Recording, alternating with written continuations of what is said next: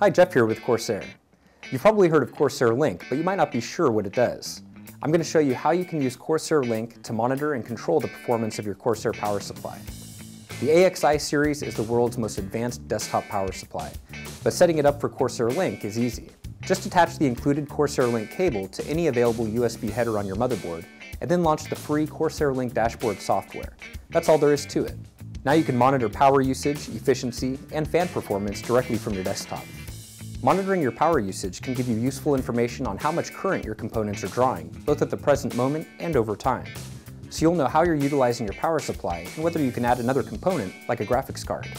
Monitoring your power supply's efficiency allows you to optimize your setup. Like most power supplies, the AXI series hits peak efficiency when it's operating at around 50% load.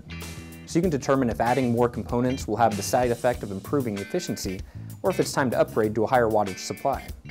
Fan performance profile monitoring can help you determine when your fan is working hard and when it's not. You can also use Corsair Link to control how your power supply's fan operates. Naturally, Corsair power supplies are designed to spin at the slowest speed necessary for proper cooling. Due to the high efficiency of our power supplies and the 0 RPM fan mode, most of the time your PC is operating, the fan won't spin at all. But what if you want to use your power supply's fan to help draw warm air out of the case? With our AXI series power supplies and Corsair Link, you can. You may be familiar with single rail and multi-rail power supplies. It simply refers to whether all of a power supply's rated power is available via one power source or if it's split among multiple. Most Corsair power supplies are single rail, since that eliminates the hassle of paying attention to which components you've attached to each rail and making sure you haven't exceeded each rail's capacity.